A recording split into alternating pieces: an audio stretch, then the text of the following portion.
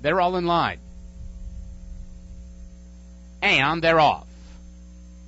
And a good even start. Striking Force is showing a little speed. Now Third Dimension is moving up with Fearless Cruise from the outside gate. And these two head off to the lead side by side. Striking Force is now back in third and just two lengths off the pace. It's just business up on his outside. Then we come back to Playful Pal. The back marker is not ready yet. And Sea Mount. Sea Mount's going to have to make up seven lengths with a half mile to run. And they make their way to the far turn. Third Dimension and Junior Alvarado clear off. It's Third Dimension over a length from Fearless Cruise. Striking forces close up down along the rail. They're followed by Playful Pal, who's edging closer from the fourth spot. Then It's Just Business. Sea Mount is out of last. Not ready yet now, the trailer. Midpoint on the turn. Third Dimension still the clear leader. And Alvarado just sitting still on him at the quarter pole. It's Third Dimension over a length. Now Striking Force is coming off the rail and coming after Third Dimension as they straighten away. Third Dimension bracing for the attack of Striking Force. Third Dimension now under right-handed whip. Striking Force on the wrong lead but trying to close up